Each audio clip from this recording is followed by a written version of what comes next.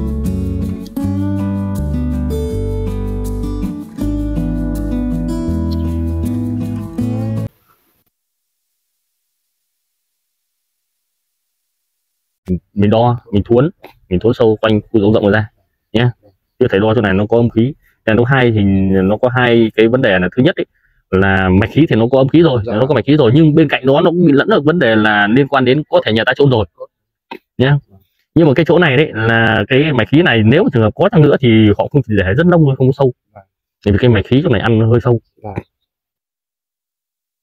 chỗ này xuống sâu mà chỗ này xuống phải rơi vào khoảng mét tư mét rưỡi thì nếu trường hợp mà có người nào họ đặt lên trên này đấy, thì nó chỉ là lông thôi.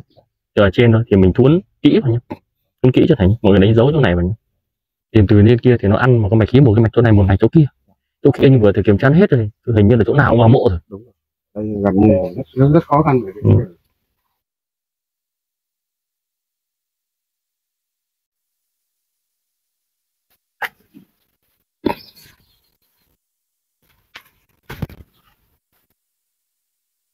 thật kia Nhìn quanh chỗ này hết Đấy. ở chỗ này. Bên kia một còn là cái nữa nhưng mà mộ nhiều lắm. Thì cái này đỏ đấy. Thì bây giờ em cứ quay theo cái chiều dài này, đấy em em chéo như này. em hiểu như thế để Đến đoạn này. cái chỗ này thì em cứ quay ra chỗ kia vì để tránh trường hợp những nhà kia họ họ lấn nó vào đấy còn khi mình hạ việt mình cho hạ vào chỗ này. Nhưng mà em cứ tầm đi tầm cho rộng rộng chỗ này ra.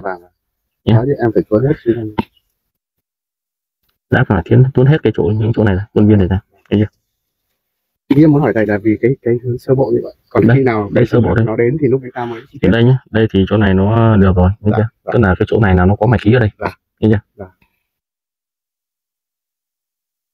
còn chỗ này cũng rất dễ là có. Có tỷ khối chỗ này này dễ là có tiểu. Lắm làm trong ra để cho em hiểu phát dương thì kêu gì bên kia là phải tay tay hổ rồi.